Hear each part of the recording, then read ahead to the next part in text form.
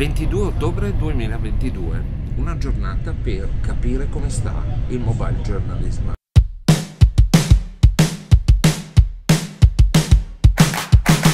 Today is gonna be a little something more.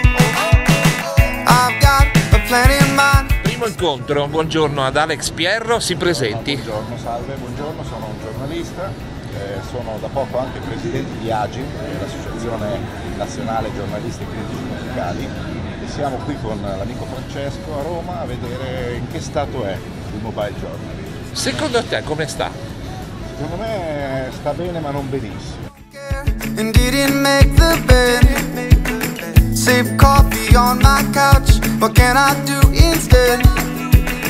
No work, it's only fun, cause it's all. Cause you never feel this way. It's my lucky day. stanno iniziando i corsi del Festival di Moggio Italia, questo è un corso su Luma Fusion, ritrovo vecchi amici e vado a scoprire che cosa, che cosa c'è di nuovo e come sta il mobile journalism italiano. Diciamo che sta molto bene, c'è molto interesse. Certo, eh, ho l'impressione che però dobbiamo lavorare molto sulla formazione.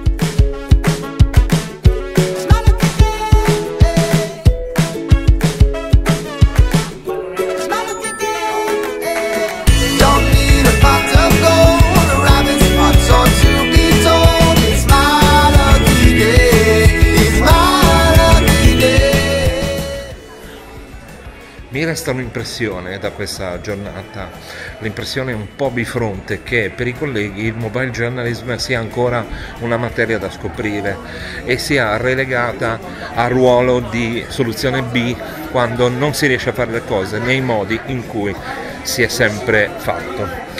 Dall'altra parte però il mobile journalism è cresciuto ed è diventato uno strumento che si è quasi confuso con la produzione giornalistica multimediale dei grandi gruppi, lo abbiamo visto in tantissime occasioni, per cui eh, come dire, forse in Italia il mobile journalism non sta benissimo perché ancora non è uscito eh, da questo equivoco dell'essere una soluzione B, una soluzione di ripiego per chi non riesce a fare le cose come le ha sempre fatte.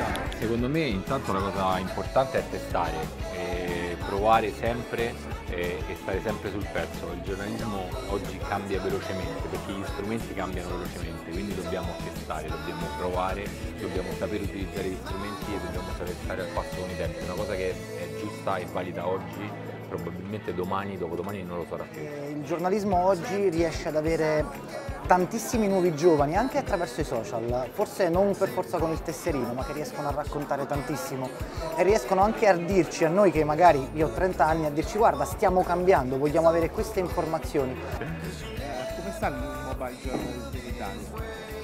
Ma è una domanda a cui, a cui rispondere è difficile perché se guardiamo alle nostre spalle c'è eh, una fila di persone che cercano di entrare al Mojo Festival. Quindi verrebbe da dire bene, eh, perché c'è tanto interesse. In realtà eh, io credo che soffra un po' nella misura in cui l'editoria italiana eh, non ha colto in pieno questa occasione e è rimasta un po' impantanata nel passaggio da eh, analogico a digitale. Il mobile journalism quindi non sta benissimo, ma ad algoritmo umano lavoriamo per migliorare la situazione.